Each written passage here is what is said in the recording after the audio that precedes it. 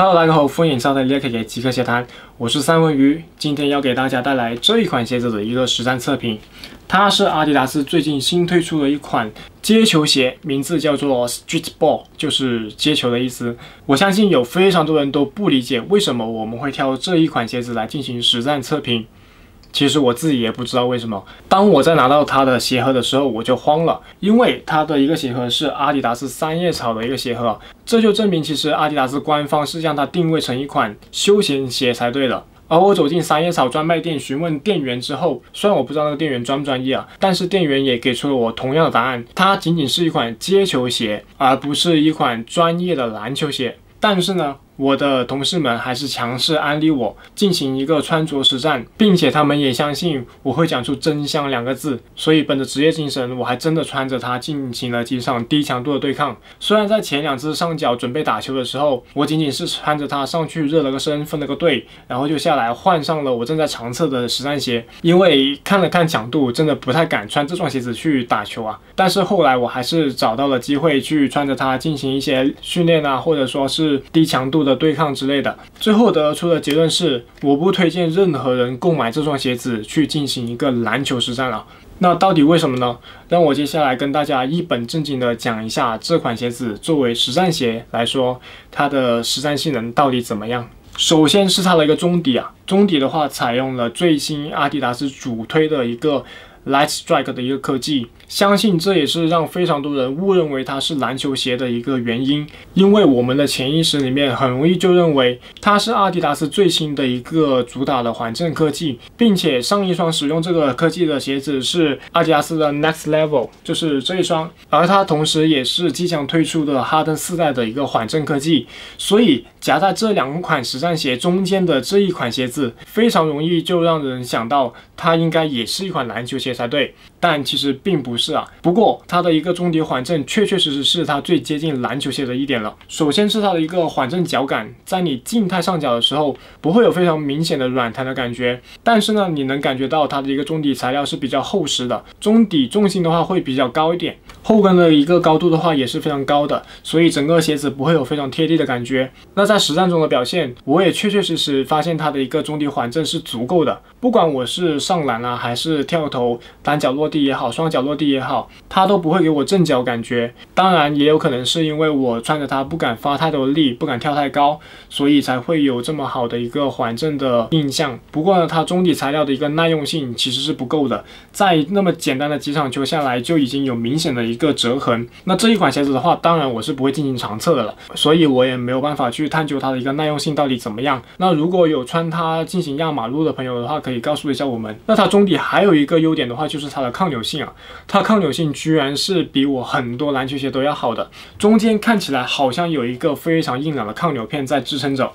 就是你没有办法，无论是用多大力啊，都没有办法将它完全对折。然后在其他方向的话，也有非常不错的一个抗扭性。那我觉得里面的话，应该是真的有一个非常大的抗扭片的。而它整个中底的一个设计啊，让我有点想起了之前在长测的字母哥一代。就是你们能看到，其实它外侧同样是有两个上翻的 TPU 啊，字母哥的话也是有两个上翻的。而它们的内侧的话，同样也是后跟这边有一个上翻的 TPU 进行支撑，所以其实它的一个设计思路啊，还是按着篮球实战款来走的。那说完它整个中底之后呢，接下来就是它作为篮球鞋来说不合格的部分了。首先是它的外底啊，你们可以看到它的外底纹路非常的奇怪，一眼看上去就觉得不像是一款篮球鞋。我问我的队友看到这个鞋底之后有什么感觉，他们给出的答案都是什么登山鞋啊，或者说越野鞋。啊之类的，反正不会说出它是一款篮球鞋。那整个鞋底纹路的话，没有多少是正常的一个人字纹啊，更多的是一些类似于轮胎一样的设计。那整个鞋子的一个抓地力的话是比较不足够的，它可能真的适合在非常粗糙的水泥地上进行实战。我穿着它在普通的油漆地外场进行实战的时候。能发现它的一个抓地力是非常不足的，非常容易打滑，并且还挺吸灰的。但是说不定它整个外底的一个纹路耐磨性还是非常不错的，因为能感觉到它的一个外底其实是非常的硬的，并不是那种软绵绵的水晶底。那整个外底的话也没有找到很多设计上的细节，就是没有任何彩蛋让我去挖掘一下。接下来的话就说一下它的鞋面部分，鞋面部分的话看起来就是那种非常复古的一个造型啊，多种材料进行拼接，当然主要的话还是一个网材材质以及麂皮的一个材质。那问题又来了。既然它是一个街球款，你要穿着它在街头进行实战的话，为什么还要采用这种吸了灰之后很难打理的麂皮呢？这一点的话也是让我非常不解啊。然后整个鞋面的话有几个问题，首先是它的内长有点点太长了，在我穿着精英袜进行穿着的时候，发现脚脚趾部分还有大概一厘米以上的一个空间，所以整个鞋子的话是偏长一点点的。然后它的鞋的设计的话也是比较奇怪，首先是它的一个鞋的孔数只有四个，并不像普通的实战鞋有六个左右啊，而它鞋带与鞋带孔之间的一个摩擦力也是非常不足的，在你实战中很容易出现滑动的一个情况，所以它对你脚部的一个锁定感比较不足够，而它内侧的一个支撑也是比较不足够的，在穿着的时候你能感觉到你的脚不自主的会往内侧溢出。où 这就是一种非常不稳定的感觉了，而同样的感觉的话，让我在最近的帕克七里面也能感觉得到，虽然没有帕克七那么明显啊，但是大家可以想象一下那种感觉。那整体的一个防侧翻的话，在外侧这一边还是做的比较不错的，因为有上翻的一个 TPU 材料，然后还有一个复杂的鞋面结构，鞋面里面还隐藏了三条杠的一个元素啊，当然它不是什么飞线之类的一个东西，只仅仅是作为一个装饰而已，也并不是一个动态的鞋带系统。它最上面一个鞋带孔的话，是有一块硬质塑胶来做成的，有三个口供大家去选择，而我比较喜欢穿在最上面一个。那它后跟的话，同样也是支撑性非常不足啊，没有做任何加固的一个处理，非常软。然后在它外侧这一边还有几个类似于防滑颗粒的设计啊。但是非常奇怪的是，它居然是设计在外面的。而我认为，如果它放在里面的话，应该可以起到一个增强鞋子与袜子之间摩擦力的一个效果，就是不会那么容易脱后跟。但是它居然放在了外侧，我也是想不懂为什么。那整个鞋子的鞋面支撑最不足的地方就在于它鞋舌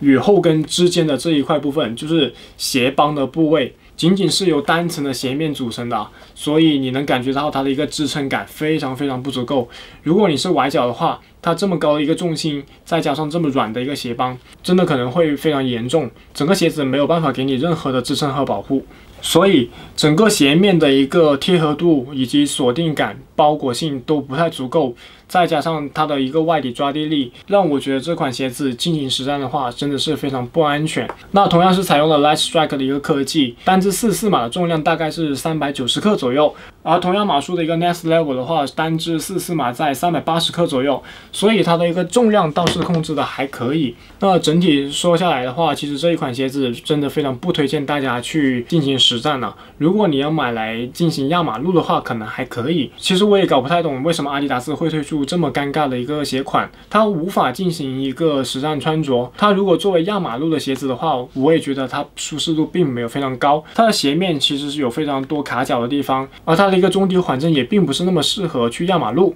反倒是它一个抗扭，如果用来走路的话，又有一点太过了，所以其实真的是非常想不懂。当然，它的一个定位思路的话，还是让我想起了以前读书时期非常想找一双既能穿着上课，又能在下课不用换鞋就直接去打篮球的鞋款。而我以前穿着最多的话就是 Air Force One 了，它真的是一款让我在那个时候可以穿着上课，然后下课之后直接就跑到篮球场去穿着的一个鞋款。当然，大家也可以跟我们分享一下。有哪一款鞋子你认为是可以进行日常穿着搭配，并且还可以随时随地来一场球，不会那么容易受伤的？我相信也不会有多少学生党会在书包里面另外装一双篮球鞋啊，因为印象中以前周末放学回家的话，书包里面装的全是书啊。然后装的越多，就好像代表你越用功一样。里面当然是不会有篮球鞋的，所以当时的话，穿着最多就是 Air Force One。在我下课的时候，直接可以跑去操场那边霸场，然后呃直接分队打比赛，也不用说换非常专业的篮球鞋才能打球那样子。那个时候也不懂得保护，呃，当然 Air Force One 本身它的一个保护性的话，也没有说太过糟糕，因为它的一个鞋面也是支撑性非常足够的。当然，如果它崴脚的话，还是会非常痛啊。而这一款鞋子的话，就不会让我有那种感觉，就是我不会穿着它压马路，然后还觉得它可以随时随地来一场那种。它作为一个街球款，其实我不太确定有哪些街球高手会穿着它进行实战。所以很可惜的是这一次没有办法真香了。整个鞋子的话，我也找不到太多的资料，所以也没有办法跟大家分享太多的故事。它以前的话，应该还有同样的一款叫做 Streetball 的一个鞋款，而那一双的话看起来更像是篮球鞋多一点点。而这一次二零一九的版本的话，就更像是那种亚马路的老爹鞋了，比如说椰子七零零那种鞋款。不确定之后会不会出一个加强版，就是有点点像 BYW 那样出一个 X 版本，告诉你这是专业的篮球鞋，你可以穿着它去实战。有可能会推出，但是我也不太确定啊。幺零九九的一个发售价的话，我真的找不到任何购买它的一个理由啊。说不定会有朋友对这个系列有什么情怀，也可以跟我们分享一下。我们也想知道这双鞋子到底会不会有更多的故事在里面。那还是硬生生的跟大家讲完了整个实战的测评，虽然听起来可能整个测评有点点奇怪，毕竟它确确实实是一双休闲鞋来的。那接下来的话会有更加正经的 Alpha Dunk 的一个测评，长测、短测以及预帅的一个长测。如果还有想看的其他鞋款的话，也可以在评论里面告诉一下我们。那今天的话就到这里结束了，拜拜。